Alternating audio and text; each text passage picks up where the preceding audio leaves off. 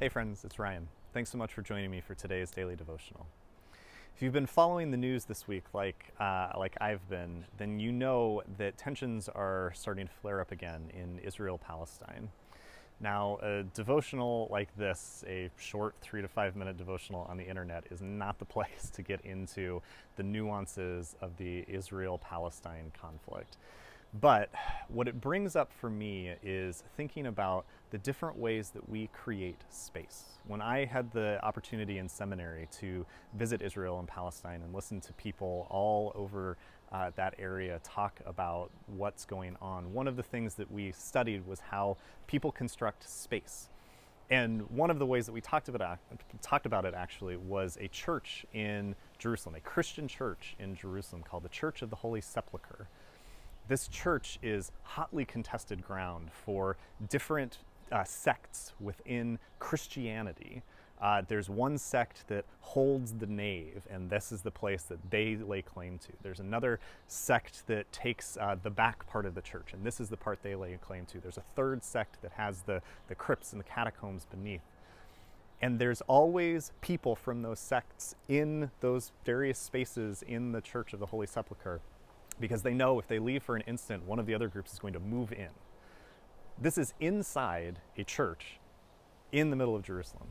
In fact, the, the various Christian groups inside this church uh, have so little trust with each other that the front door uh, has a key, and that key is kept by somebody who is not Christian.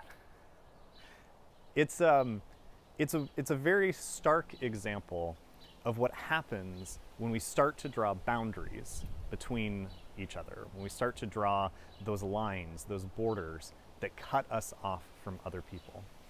I mean that in a lot of different ways. I mean that physically, the lines that we draw on maps that say this is a state, this is a state, this is a country, this is a country.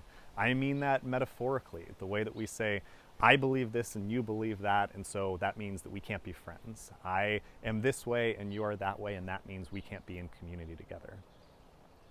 Humans naturally draw lines. Humans naturally find boundaries. It's one of the things that makes us what we are. And that's okay. Sometimes it is good to draw boundaries. Anybody who has ever been to counseling before will know that boundaries are a good thing to keep you healthy, to keep your uh, family healthy, to keep your community healthy. And there are ways to do it that are better and worse.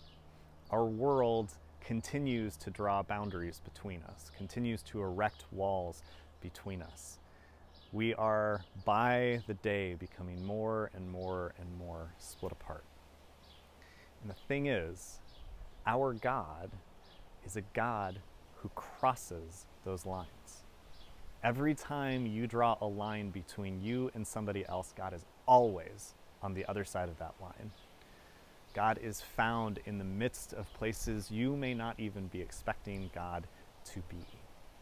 So, my encouragement to you, friends, in the midst of this time of turmoil, in the midst of these news stories that we see all the time here at home and in places around the world where we just can't seem to figure out how to live together. My encouragement to you today is to find those boundaries that need to be erased. Find those walls that have been erected that need to be torn down. Find the neighbors that are living just around you and find that common ground because I promise you, God will be there.